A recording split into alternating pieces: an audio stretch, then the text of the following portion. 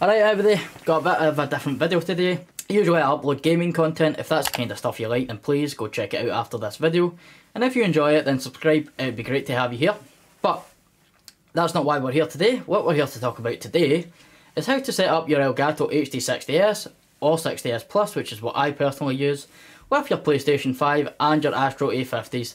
Um, this will also work with some of the previous previous Astros, such as the A40s along with the Astro adapter, which they recently brought out due to the PlayStation 5 having a huge flaw as I'm sure you're all aware. Basically, it doesn't have an optical output in the back of the PlayStation for the Astro headset, which ruins the sound on uh, recordings or streams. So what you want to do in order to get all of that, first let's talk about what you would want. Of course you would want your own voice, which is how I am getting mine right now. Uh, I record my mic separately with my Elgato Wavelink 3. Of course, you're going to want to record the people that you're playing with and against, and the actual game itself. Now, it can be a little bit complicated, so if you are a little bit confused, well, just pause the video, try to catch up, rewind it if you're a little bit confused and you need to look over it again, but I will try to make it as simple as I can, and hopefully help you guys get the recording or streaming that you would like. So let's get right into the setup. Okay, so just to quickly show you guys I have the recording right here.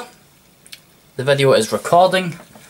Uh, this is on Elgato's own capture, of course. I personally use OBS, but it doesn't really matter. So, what you're going to want to do is you're going to want to take this wire, so this wire right here, plug it into your PC or your laptop, whatever one you're using, and then this wire, this wire coming from the PC will then reach the Elgato so that will go in here, okay?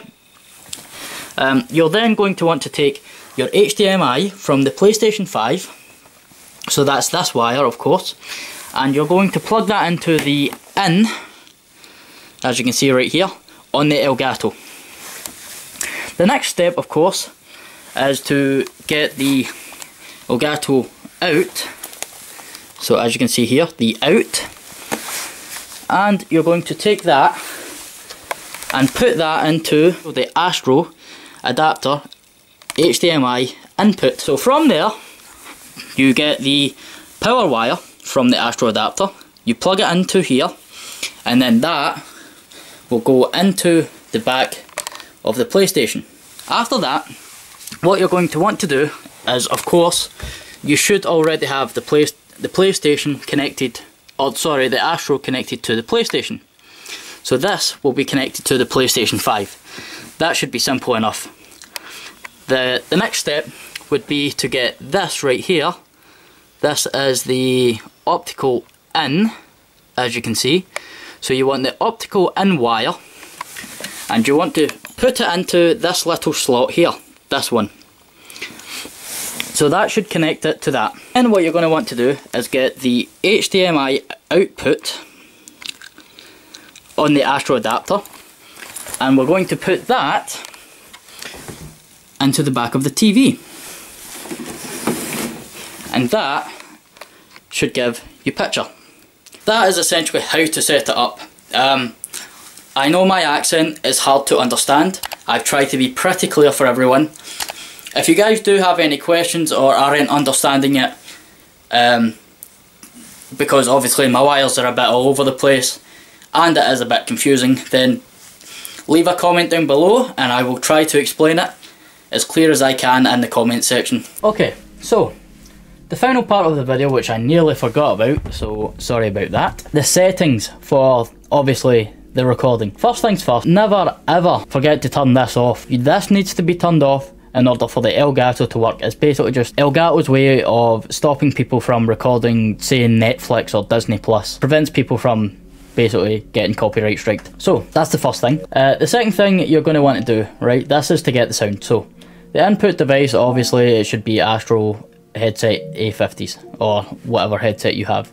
Okay, the output is where it gets a little bit harder. So what you're going to want is the HDMI device TV. Alright, so that is what you want. You get that set up and then you do that. Uh, this doesn't matter. Output to headphones has to be chat audio and then for me, I have to use audio format priority because if I use Bitstream Dolby, it, it does this weird screeching noise, so that doesn't work out for me. One extra thing that um, you have to sort of do, and it is a little bit confusing. As it, it's really stupid and it shouldn't be the case. But say you make a, a game base. Let's say I, I go into, well, I'll go into my, my club chat, right? So I'll go to voice chat. Let me quickly click on that. You are not able to change this once you've got um, the settings the way they should be. But I find that roughly this area is the best area to get game sound and to get your friends and your voice all sort of the right volume for the game. Um, personally, I do turn down my Elgato gameplay down slightly and keep my microphone all the way to the max. But this is the best settings, in my personal opinion, um, to get the the gameplay.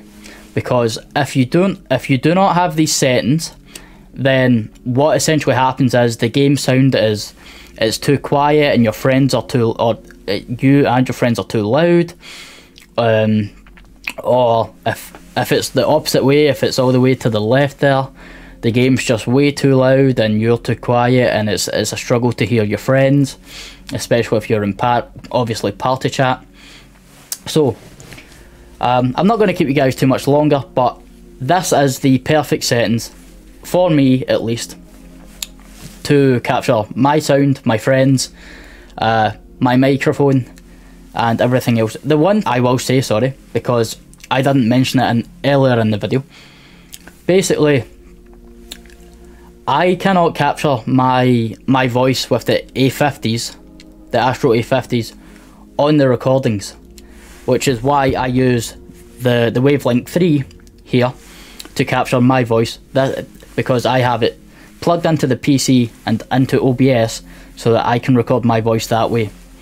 So just a little tip, if you are going to be doing this setup, you will also have to have a separate microphone plugged into the PC capturing your voice and the Astro A50 headset will still be talking to your friends, it's just the recordings will not pick that up and that's why you need a microphone.